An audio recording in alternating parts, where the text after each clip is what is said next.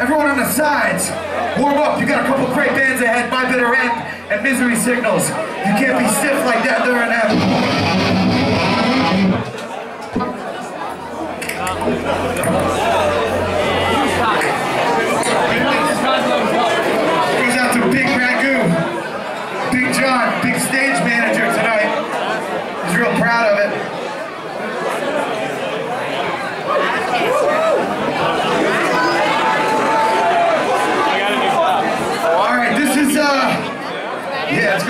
Right here.